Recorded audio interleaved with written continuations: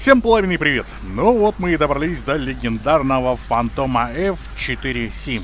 Сегодня мы его облетаем, посмотрим на что он способен, ну и узнаем, как на нем играть.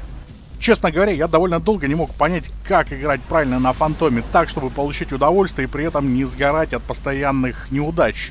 Фантом хорошая, интересная машина, но минусов хватает. И вот чтобы реализовать его плюсы, тут нужно хитрить и выкручиваться. Ну а что именно делать, мы узнаем чуть позже. Ну а я пока что начну с характеристик. Итак, максимальная скорость у Земли 1320 км в час. Это в случае, если мы летим только с одним пушечным контейнером М61. Но если вдобавок к нему мы подвесили еще 4 УРВВ АМ-9B или АМ-9C, то скорость падает и составляет 1300 км в час. Разумеется, это все на форсаже, без форсажа мы не летаем. Да, это неплохо, но не феноменально. И тот же самый Т-2 развивает 1300 км в час, и МиГ-21 F-13 тоже около 300 км в час выжимает. Флаттер нашего фантома проявляется на скорости 1385 км в час, но если сильно прижало, можно в пике разгоняться и до больших значений 1450 км в час. Дальше уже опасно, поскольку там начинается разрушение конструкции. Надо отметить, что машина неплохо выводится на скоростях ниже 1100 км в час, но вот 1200 и выше это уже большая-большая проблема. Ну а если вы решили поштормить в совместных, учтите, с большим количеством подвесов машины выводятся очень-очень тяжело. Нагрузка на крыло. Естественно, модуль усилителей у нас отключен, но тем не менее это не решает всех проблем и мы можем потерять крылья. Как? Очень просто. Даем отрицательную перегрузку и чутка крена. Вуаля, крылья отправились в самостоятельный полет. С маневренностью у нас определенно есть проблемы. В принципе, машина более-менее энергично может развернуться на скоростях за 750 э, до 1000-1100, где-то так, но выше там уже также начинаются проблемы. Упала скорость ниже 750, готовьтесь к тому, что машина станет просто легкой мишенью, поскольку нормально маневрировать она уже не сможет, и уклоняться от тех же самых ракет уже будет довольно тяжело. Отсюда строится наша игра.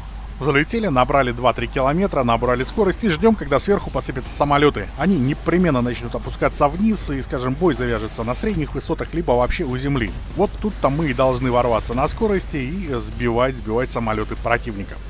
При этом действовать нужно четко и гнать лукавые мысли насчет повиражить. Иными словами, рельсы и бумзум спасут нашего фантома. Скороподъемность у нас на уровне топовых машин, хотя надо отдать должное, что тот же самый МиГ-19 ПТ, на который недавно был обзор, нас несколько превосходит по этому показателю.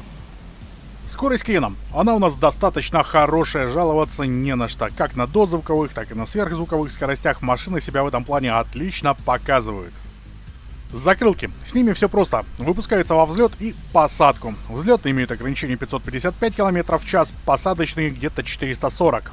При этом на них особо рассчитывать не стоит, но вот на воздушный тормоз точно можно надеяться. Кстати говоря, я уже упоминал о том, что у нас есть диапазон скоростей, на которых мы достаточно бодро разворачиваемся. Так вот, если мы перешагиваем, помните о том, что воздушный тормоз нас спасет. Ну и, наконец, самое интересное вооружение. Прежде всего надо отметить, что у нашей модификации Фантома нет баллистического вычислителя. Ну а это значит, что у нас в совместных боях будут небольшие проблемы. Придется самому рассчитывать упреждения при атаке Нурсами или бомбами. Но, тем не менее, вооружение у нас достаточно разнообразное, чего только нет. Прежде всего надо отметить истребительный сетап. Вскользь я о нем уже упоминал. Это подвесной контейнер М61, 20-мм пушка с боекомплектом 1200 снарядов. Очень-очень хорошо. Ставим ленту воздушной цели и противник достаточно неплохо нами уничтожается. Также есть возможность подвесить сразу три контейнера М61, но при этом характеристики у машины становятся совсем печальными. Естественно, у нас присутствуют разнообразные бомбовые сетапы. 18 250-фунтовых бомб, либо можно взять 18 500-фунтовок, 12 бомб массой 750 фунтов, ну и 8000 фунтовок. При этом в каждом сетапе дополнительно будет подвешен еще один контейнер М61. У РВП болпапы в количестве 4 штук нам доступны, причем в двух модификациях B и C.